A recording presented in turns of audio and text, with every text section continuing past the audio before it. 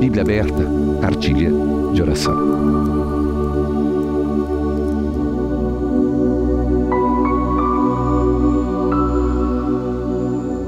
Do passado,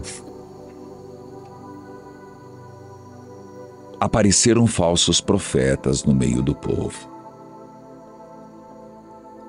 Você lembra que Pedro está querendo dizer, e aqui você não pode perder o que foi ontem.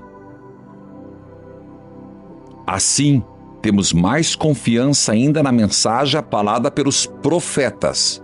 Então, estamos falando dos verdadeiros profetas. Como entender um verdadeiro profeta? E isso vale como para hoje. Vocês fazem bem em prestar atenção nessa mensagem, pois ela é como luz que brilha em lugar escuro,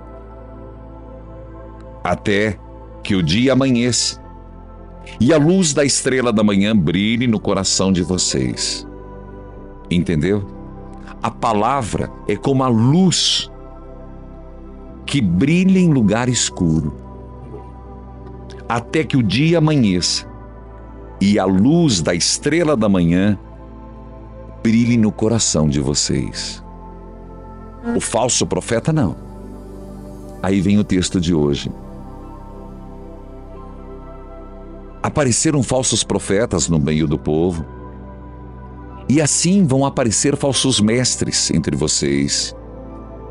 Eles ensinarão doutrinas destruidoras e falsas, e rejeitarão o Mestre que os salvou. Percebe isso acontecendo hoje?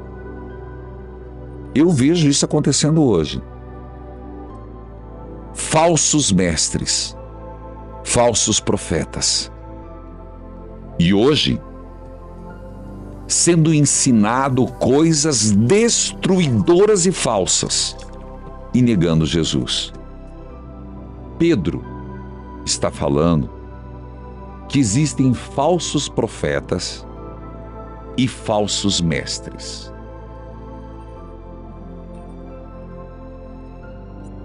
E fala de um perigo. Eles ensinarão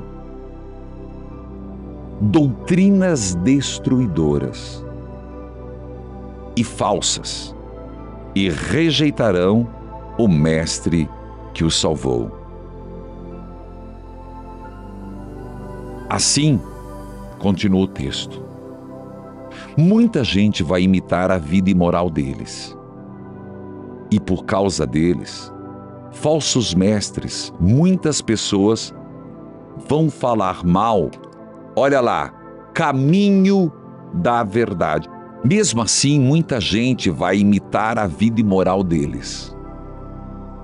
E por causa dessas, desses falsos mestres, muitas pessoas vão falar, aqui aparece uma palavra-chave, do caminho da verdade, entre aspas. Cristianismo, aqui Pedro define como o caminho da verdade. Continuo.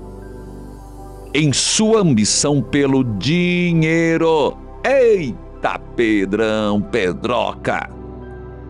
Na ambição pelo dinheiro, esses falsos mestres vão explorar vocês, contando histórias inventadas.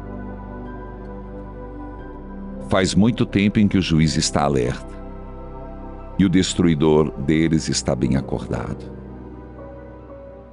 Pois Deus não deixou escapar os anjos que pecaram, mas os jogou no inferno. Eu quero saber qual é a tua percepção, principalmente doutrinas destruidoras da família, da sociedade, doutrina destruidora da política, doutrina destruidora da educação da pessoa humana.